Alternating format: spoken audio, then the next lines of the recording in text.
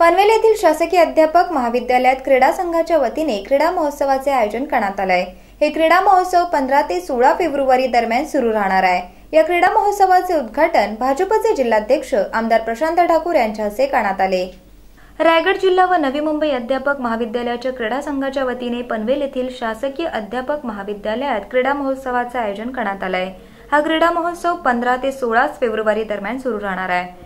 या महोत्सवात विविध खेळांचा समावेश करण्यात आला आहे या क्रीडा महोत्सवाच्या उद्घाटनावेळी शासकीय अध्यापक महाविद्यालयाचे प्राचार्य डॉक्टर रमा भोसले वाशी येथील एच पी एन कॉलेजचे प्राचार्य डॉक्टर सुवर्णलता हरिचंद्रन कोकण विभाग सहसंचालक doctor Snigdha Pradhan oriental college of एज्युकेशनच्या प्राचार्य doctor Savita Sable D D Vispute कॉलेजच्या प्राचार्य डॉक्टर सीमा कांबळे यांच्यासह पदाधिकारी शिक्षक शिक्षिका विद्यार्थी आणि मान्यवर मोठ्या संख्येने उपस्थित होते. यावेळी जिल्हाध्यक्ष आमदार प्रशांत ठाकूर यांनी विद्यार्थ्यांना मार्गदर्शन केले.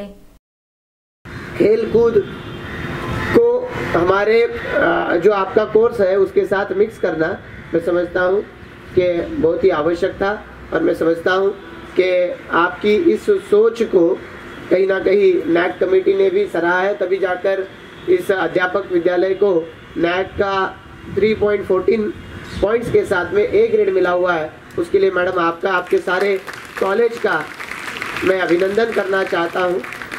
और मुझे पूरा विश्वास है कि हम लोग जब किसी कोर्स के बारे में सोचते हैं तो उसको होलिस्टिक अप्रोच में सोचें, ताकि हम किसी एग्ज़ाम में कितने मार्क है इसके लिए नहीं सोचते हैं।